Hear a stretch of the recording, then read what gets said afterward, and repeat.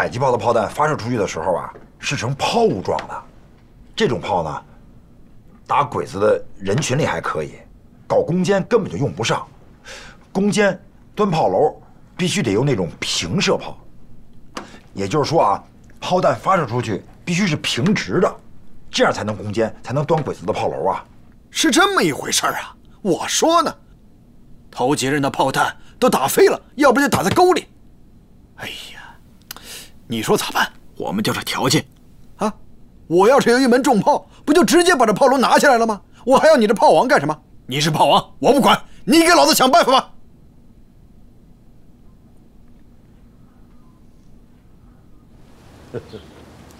清明，你过来看看，这个地方怎么样？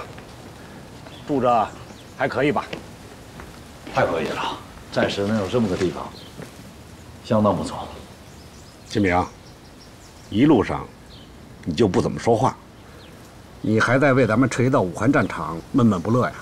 清明，中条山固然重要，但是武汉、长沙一线对党国更为重要。如果日军占领了武汉，就会继续南下威胁重庆，所以我们不能考虑。一城一池的丢失，更不能考虑一个战役的失利。考虑问题要站在全局的角度考虑，明白吗？明白。走，咱们去看看。团长，杜教官给我们上课的时候跟我们讲过，说迫击炮跟平射炮的结构不一样，这不可能让迫击炮平射。哎，团长，我就觉得这事儿简单，那把炮管放平了，不就跟平射炮一样了吗？那我说朱营长，你这脑子是不是让门给挤了？那炮管放平了，炮弹怎么打出去啊？朱大天，曲射炮是取射炮，平射炮是平射炮，这就跟母鸡负责下蛋，公鸡负责打鸣一样。哦，你非让公鸡负责下蛋，母鸡负责打鸣，你这不胡闹吗？你，你认真一点，朱。我觉得呀，你也够胡闹的。这说一个炮的事儿，公鸡母鸡都说出来了。我这必须。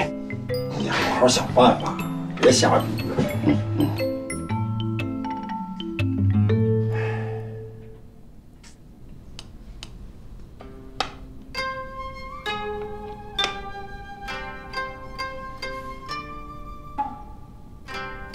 职业军，下棋和打仗是一样的，在战场上，我们要跟高手过过招，才能不断的提高我们的战斗力。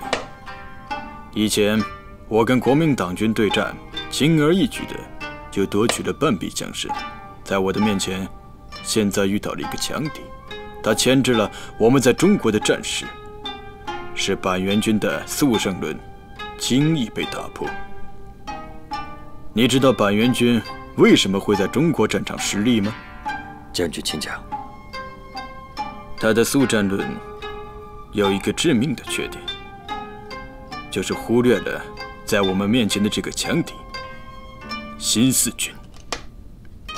在我看来，新四军和八路军和中国的其他部队截然不同。虽然他们的武器装备很差，但是他们就像野草一样，很难根除。目前，在我们面前的这支新四军，就是这样的一支部队。它盘踞在大吴山。对武汉的威胁十分之大，要确保长沙会战顺利，我们就要加强对他的打击。将军，新四军久攻不下，犹如一块顽石。如果我们长期消耗下去，对我军非常不利。板垣的那套速战论在这里根本行不通，所以本部才派我来替换他的工作。我知道，现在军中的舆论对我不利。还有人说我的战略拖垮了整个战局，速胜论十分危险，他会把我们拖到中国的泥潭，使我们得到的大片土地失去统治，最后筋疲力竭。只有以战养战，才能根本的去除这个隐患。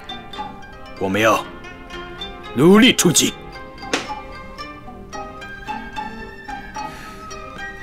总部这次决定放弃北进，全力南进，解决中国的事，便成为我们的当务之急。我接到总部的命令，断然攻击重庆，迫使蒋政权屈服。此次长沙会战对于我们至关重要，你我要一同鞠躬尽瘁。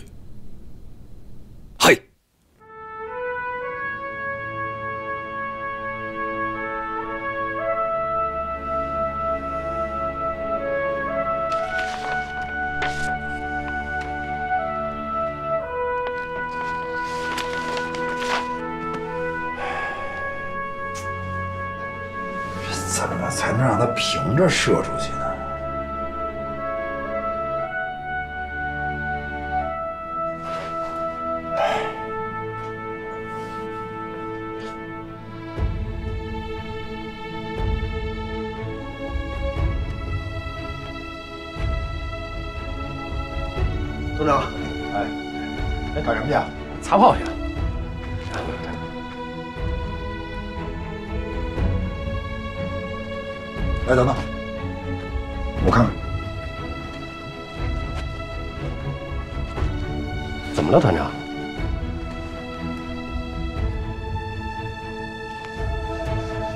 有了，来，把这迫击炮放平了。走，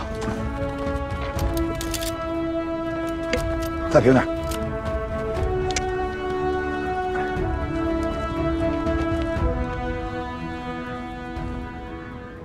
差不多。哎，你们看见了吗？这迫击炮的炮身呀，一旦放平了，这个炮弹呢就没有办法自由的滑落，撞击雷管打火。所以我就想，哎，咱们呢拿这个洗把杆，把炮弹放在这儿，只要往里边一捅，这不就撞出去了吗？啊，这对，这是。拿一炮弹咱试试。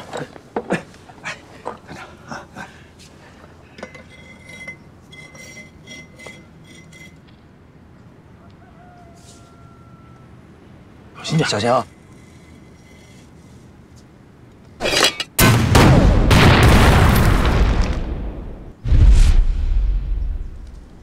哎，团长，我我们成功了，成功了，团长，差不离儿吧？啊，哎，团长，啊，这好像又有一个新问题啊！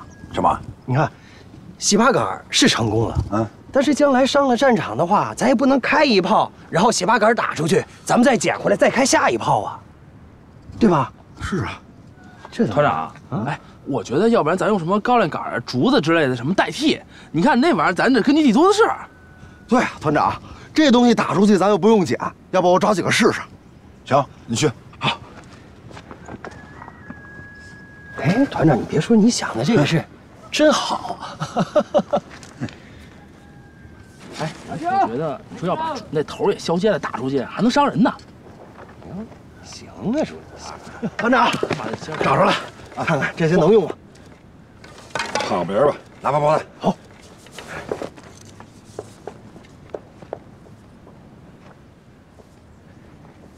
这行吗？差不多，来，是，小心啊，小心。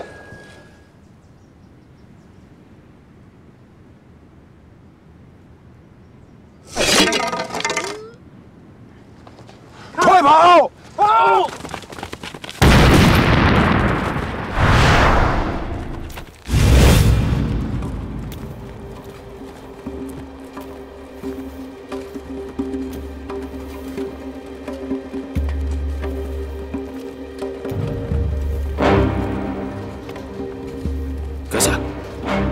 重机枪、轻机枪，还有步兵炮，在阵地前组织了严密的火力网。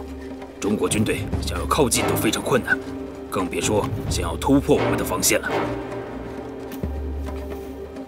职业军，这都是你的高见。如果新四军要有重火器，你们怎么办？阁下，根据我的情报，这支新四军武器装备非常简陋，只有几门迫击炮，没有平射炮。这就是他们连续三次都没有成功的原因。嗯，よし。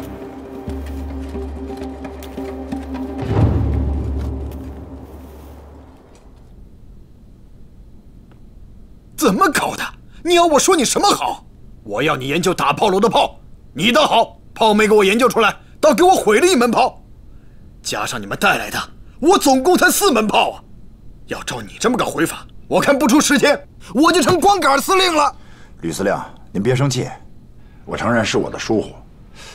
我光想着如何发射炮弹了，呃，没想到这高粱杆过于长了，容易把炮弹卡在炮管里边，所以就炸膛了。我在想办法。算了算了，杨志华，我就剩下这四门炮了，你看着办吧。要是把这四门炮都毁了，我不管你用什么办法，你小子就是一枪不响，也得把炮楼给我拿下来。是。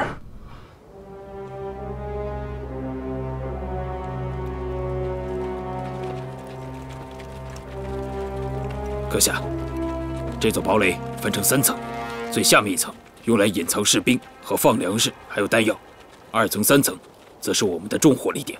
嗯，如此固若金汤，困死新四军，只是时间问题了。职业军，全都靠你了。嗨。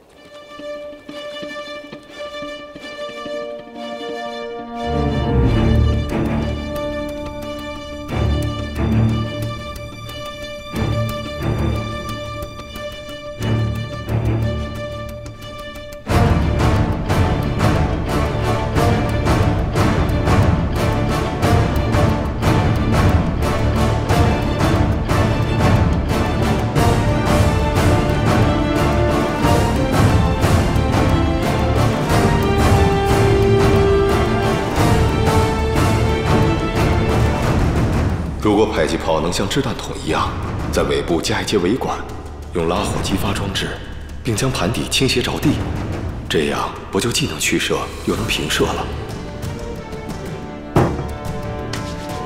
哎，就这样。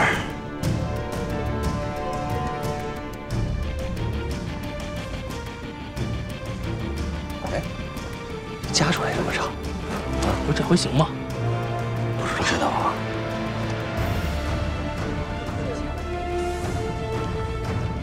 么样，团长？说了半天，弄明白了吗？没太弄明白。中火弹。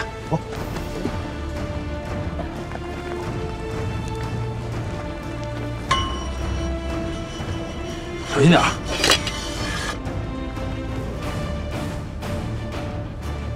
看好啊！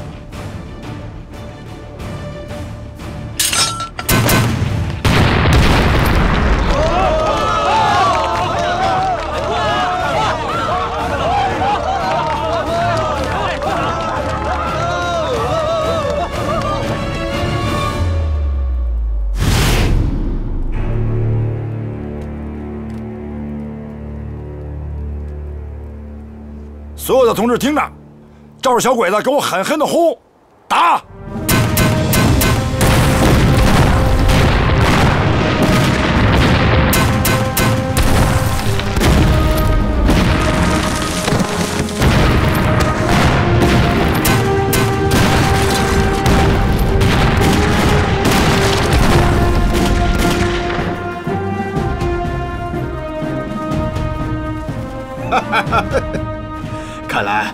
杨志华这炮王的称号，还真不是他小子吹出来的。这迫击炮屁股后面就加上这么一节，就能当攻坚炮，也就是他这个炮王能想出这个法子来呀。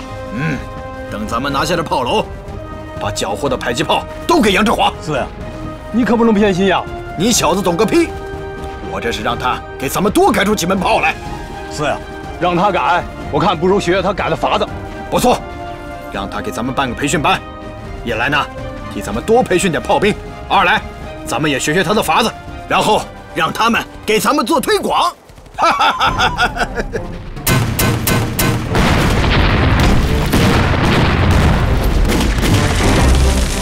怎么回事？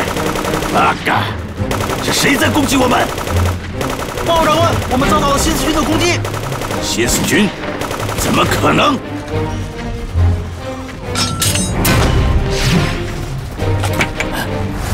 我等！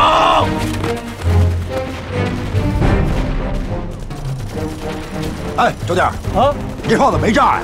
不知道，团长，这炮我打得很准。不管了，可能是个臭弹，继续给我轰！是，继续轰，把敌人的碉堡给我炸烂了！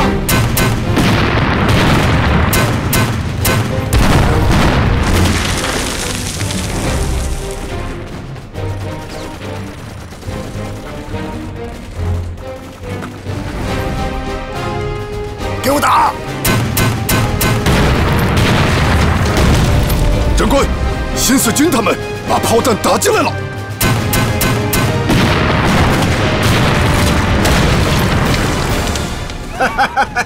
同志们，给我冲啊！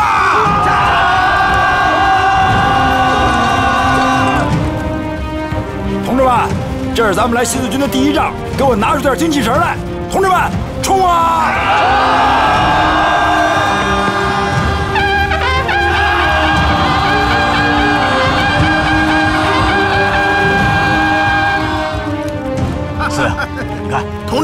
听着，给我搜仔细点能拿走的都给我搬走，给小鬼子什么都别留下。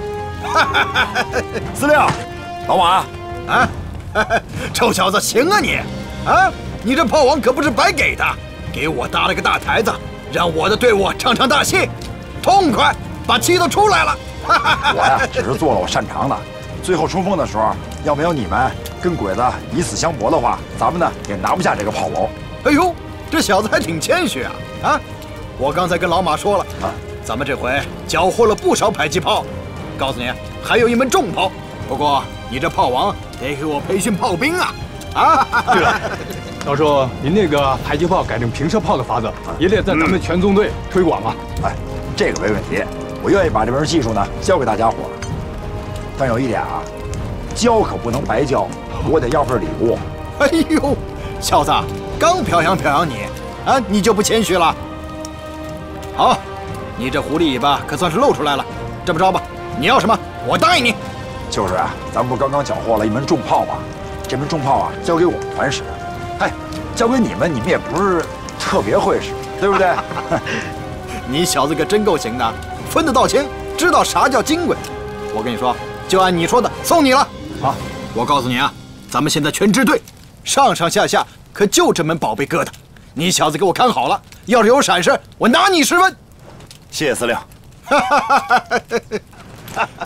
那我就去打扫战场了，去吧。好，好家伙，真解气啊！据我们的情报显示，新四军配备有迫击炮，但是并没有配备平射炮。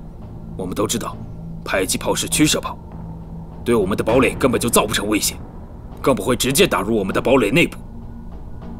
这就奇怪了，难道新四军真的研制出了新式武器？职业军，你怎么看？不用多想，指挥这场战斗的肯定是杨志华所为。之前新四军攻了三次都没有攻下，这次却轻而易举的攻下了，并且是用迫击炮当成平射炮攻击。这种特殊的战法，也只有杨志华能够想得到。你这个学生，真是给我们来了个下马威呀！阁下息怒，明天我会带着部队深入大雾山。围剿新四军和杨志华。现在，全军上下谣言四起，说中国军队节节胜利，长沙难胜。更有甚者，说我军的指挥不堪一击，还有人说我是中国的手下败将，简直荒谬。我昨天接到了总部的来电，命我带主力师团。南赴长沙，准备参战，这里就拜托志野军了。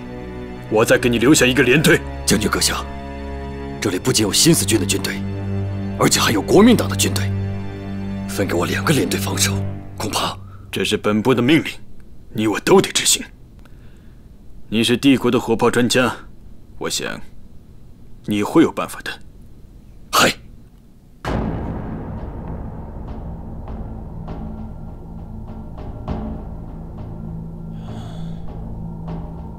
叔叔，两个连队的兵力要守住这么一大片土地，无异于痴人说梦啊！您还是再找石原将军商量一下。再给我们多留一些兵力。长沙会战胶州，皇军的兵力已经捉襟见肘，石原军就算率全体战士赶去支援，都未必能左右战局。如果对面国军和新四军趁机突围以后，去支援长沙，我们在长沙的大日本帝国军队就会面临腹背受敌的局面。中国的《孙子兵法》说得很对：“兵无常势，水无常形。”如果我们按照常规的打法，根本无法防守。要想一想新的思路。只要守住这个地方，木兰山。没错，木兰山是通往湖南的必经之路。只要守住木兰山。就可以将中国军队阻挡于西北大门之外，到时候我们就可以完全保障，万无一失了。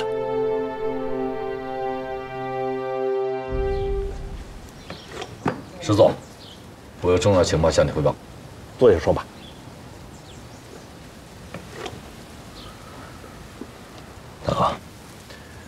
从最近几次截获的日军情报来看，日军的石原师团蠢蠢欲动，我怀疑他们可能会驰援长沙。对长沙会战会形成更大的压力，因此我建议，我不应该提早做出防范呢。你先看看这个吧，是今天上午第九战区发来的电报。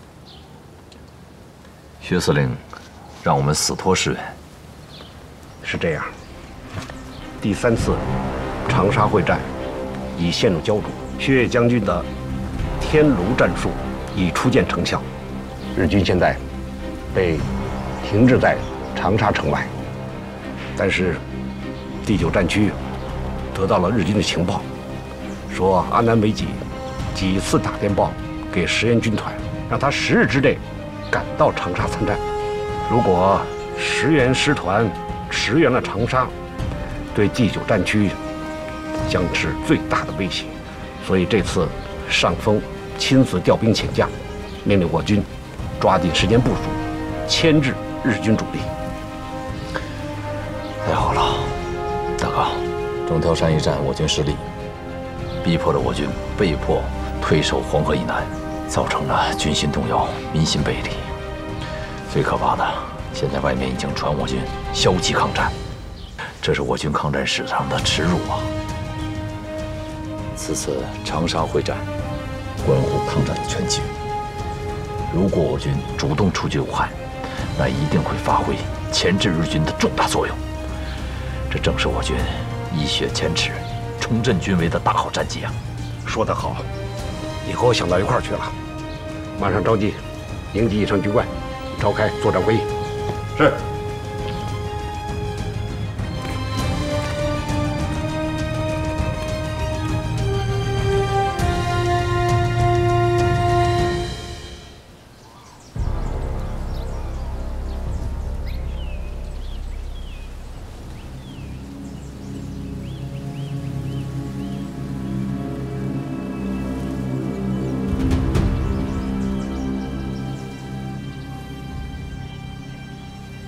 只要我们依靠木兰山这套屏障，就可以将中国的军队牢牢地牵制住。虽然木兰山地势重要，不过海拔不足六百米，整个山地却方圆有七十公里。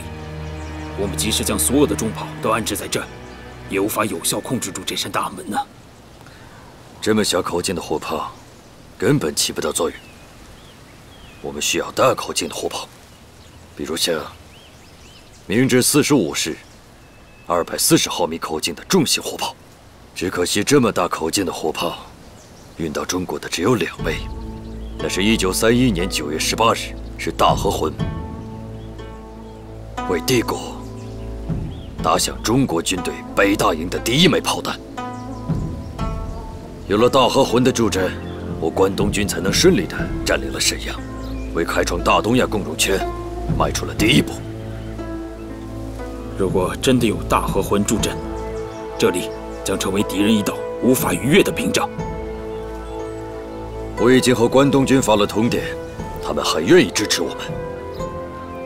这个时候，大和魂正在路上呢。太好了！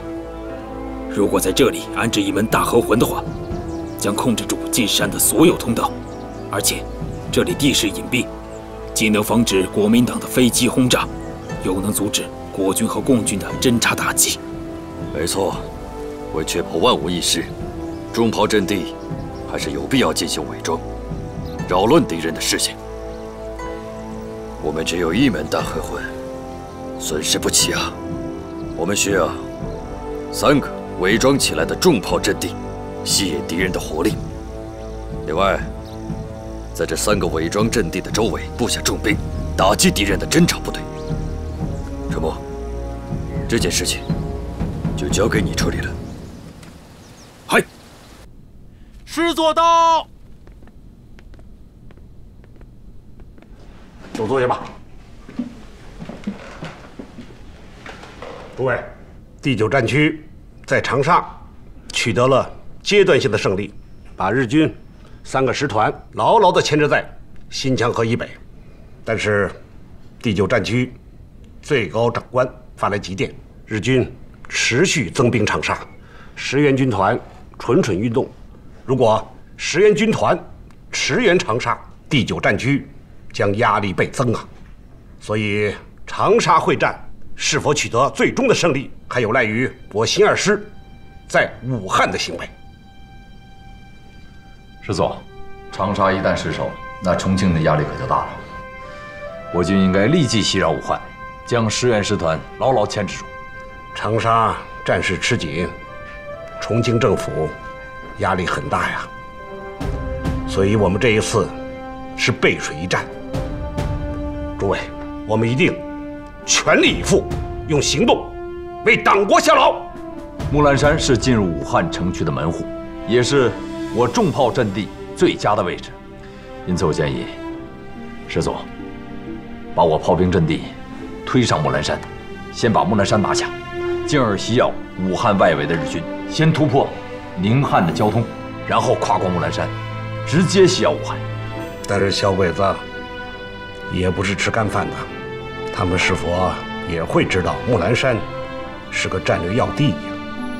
日本人是否已经在木兰山设兵驻防了？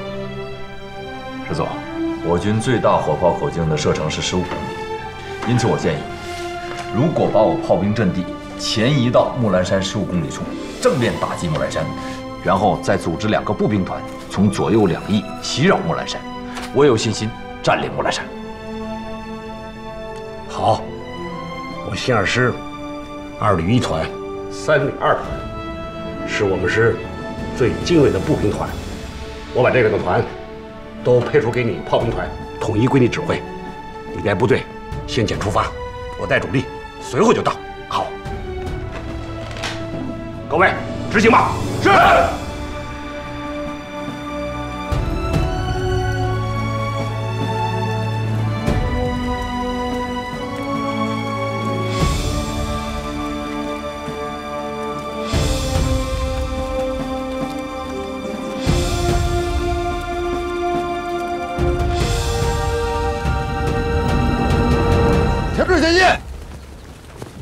启明，翻过前面那道梁，离木兰山就二十六公里了。我觉得这么奇怪呢，咱这一路也没遭到小鬼子的抵抗啊。我也觉得蹊跷，所以刚才我才让大部队原地待命，我们实地来勘察一下。秦明，我觉得还是不放心。你看这样，我带一排再往前递进几公里，去勘察一下情况。你在这等我消息。那你要多加小心。放心吧。嗯。一排。迎宾。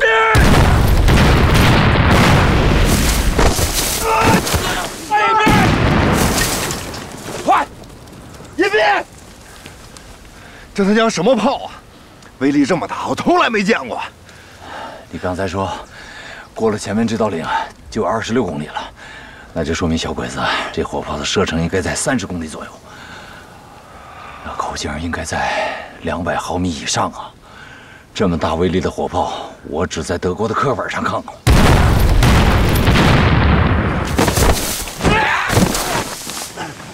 散开一逼！这帮鬼子，咱们怎么逃到哪儿就炸到哪儿？部队真逃。这附近一定有小鬼子侦察哨，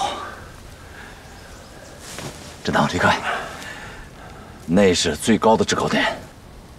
侦察排，到，跟我来。是。支涛，一定当心啊！弟兄们，分散隐蔽。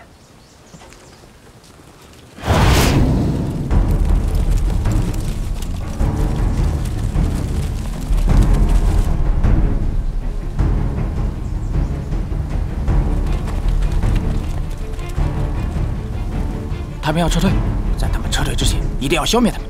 快向大和魂报告！嗨，大和魂，大和魂，快！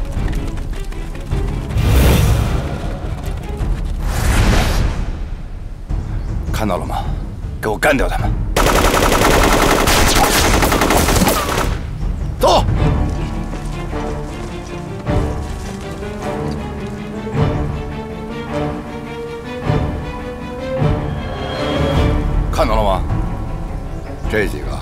就是那重炮的眼睛。王八蛋，等着老子过去扒了你们皮！走。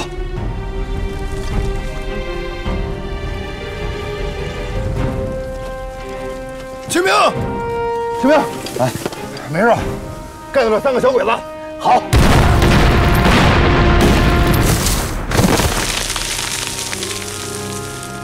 看来鬼子不止一组观察哨，此地不宜久留。弟兄们，撤，走，快！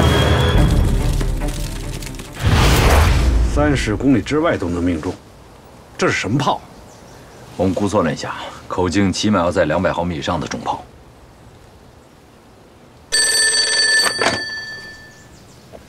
师座，电话。是，我是杜兴师。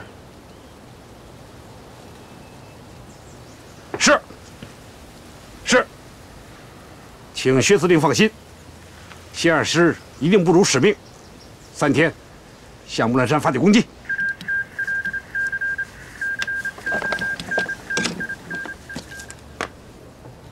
薛长官亲自来电督促我们，命令我们三日之内向武汉发起总攻。是，师座，武汉军统方面。刚刚送来情报，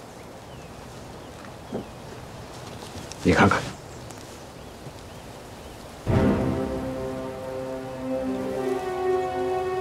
果然不出我所料啊！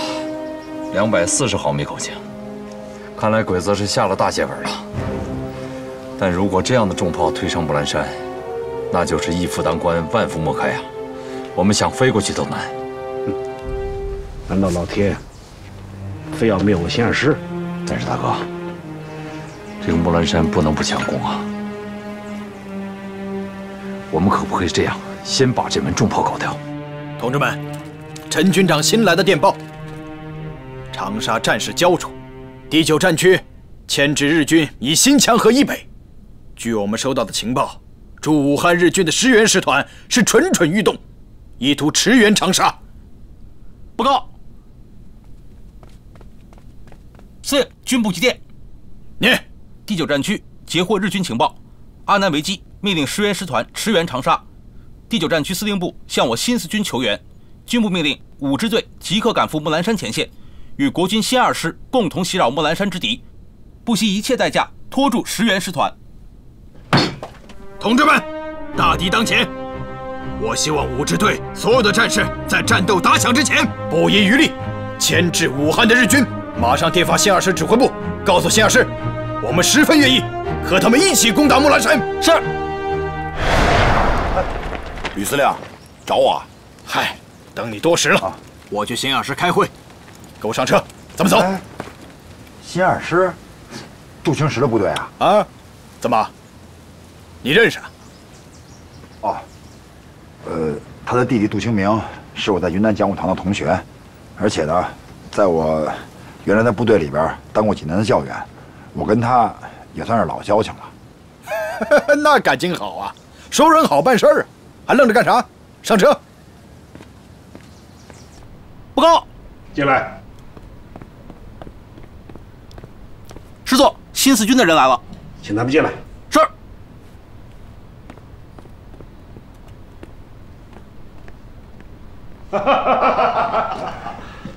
吕司令，杜师长，哎呀，老杜，请。哎，杜清明、黄振涛，嚯，杨振华，哎，你怎么到这儿来了？你到哪儿来了？新二师，我不在这儿，在哪儿啊？我不知道你调回来了。你不是说你们参加新四军了吗？原来是参加大雾山五支队去了。没错，我现在是归吕司令管啊。啊，老杜，我看你就甭介绍了，你俩是老相识了吗？是老相识。几个月不见，瘦不少啊？别提了，这新四军啊，比八路军还穷呢。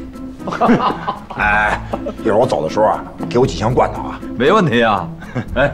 那得看今天晚上这酒怎么表现，表现好的我加倍给你。你又喝不过我，哇！那晚上比比，来来来，坐坐。情况呢是这样的，两天前，我军经过木兰山，还不到三十公里的时候，就遭到了日军的重炮袭击。三十公里处？对。那日军用的什么炮啊？什么样的重炮射程是三十公里啊？明治四五式两百四十毫米重型榴弹炮，日本人称之为大和文。九一八事变的时候，日本人就动用过这种重炮。目前在我们国内还存留两门，一门在虎头要塞，防御着苏军；另一门就是我们前几天在木兰山遇到这一门。那这么说，日军很重视长沙会战呢，连大和魂都使上了。可是，我军现在的火炮。最远距离只能涉及到十五到二十公里，根本无法和大和魂相比啊！如果在战场上阵地被敌军所控制，丝毫没有还手之力，还提什么掩护步兵作战？杜师长，如果咱们的重炮跟人日军的重炮差距这么大的话，那正面战场交火，咱们肯定是吃亏啊！我看不如这样，咱们组织一个小分队，炮兵小分队。查清楚这个火炮的位置，然后把它毁了。你说的容易，日本人这么大费周章的把这样的重炮运到木兰山，他能不想办法把它隐蔽好吗？如果我们要想打掉它，必须侦测到具体的精确方位，可这又谈何容易啊！我们已经得到情报，石月宁下令他的先遣部队撤出武汉城，驰援长沙。另外还有一个消息。你们一定会很感兴趣。木兰山要塞的日军指挥官是你们的老熟人，知野胜男。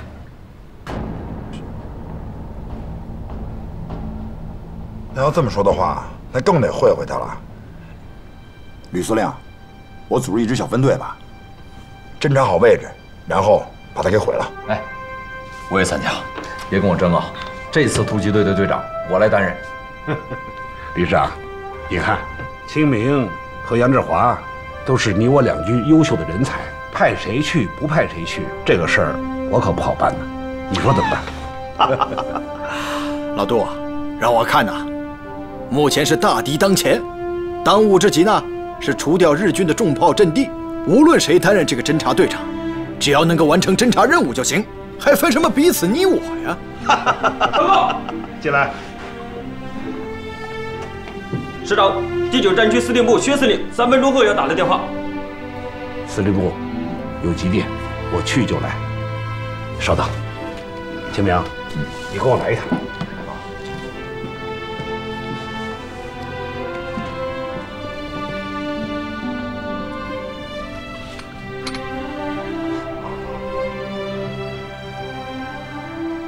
清明，日军在木兰山。设置了重炮，一定防守严密。你带着侦察队去侦察，这就是送死啊！这活儿让新四军干就行了。你争什么争啊你？什么意思，大哥？你这不是让我临阵脱逃吗？做贪生怕死之辈。杨志华和那些弟兄们，那都是我的兄弟呀！你让他们冲锋陷阵，让我躲在家里？闭嘴！我跟你说，从今往后。在我面前，不许跟我提你和杨志华是兄弟，明白不明白？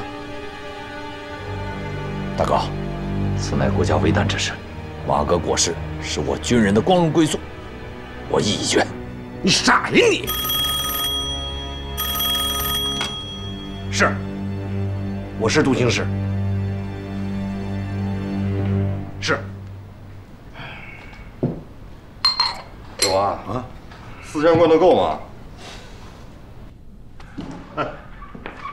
哎呀，抱歉抱歉，啊，李市长，马大哥有点紧急公务，接下来的事情就由我来跟你们商量了。嗯，王参谋长，哎，师座有请。好，那你们先坐啊。苏局司令，我们目前的计划是这样的：由我们新二师和你们新四军分别组派两组侦察小分队，由不同的方向进入木兰山进行侦查。